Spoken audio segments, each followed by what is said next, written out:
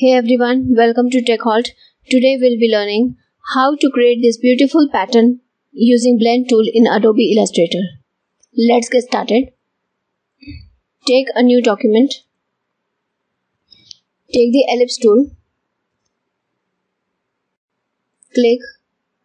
Hold down shift key. Draw an ellipse.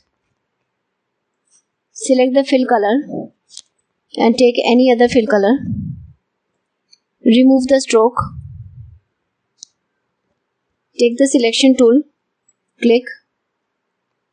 Go to window, align. Shift plus F7 is the shortcut. And select align to artboard and horizontal align center and vertical align center. Now go to effect distort and transform zigzag turn on the preview. Choose relative smooth size 4 click on ok. Go to object expand appearance. Go to edit copy or control c.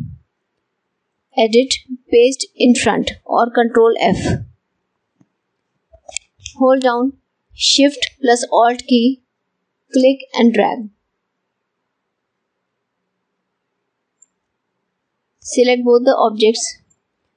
Go to object, blend, make or alt control B.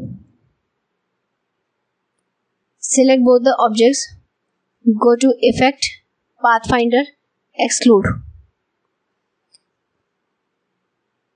Now go to object, blend, blend options.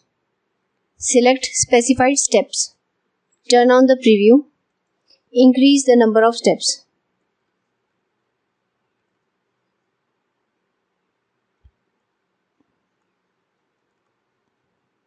So let's make it 20. Click on OK. Click outside now select the innermost object. Double click and click and select only the innermost object. Now go to Effect, Distort and Transform, Transform. Turn on the preview. Now click on the angle and increase the angle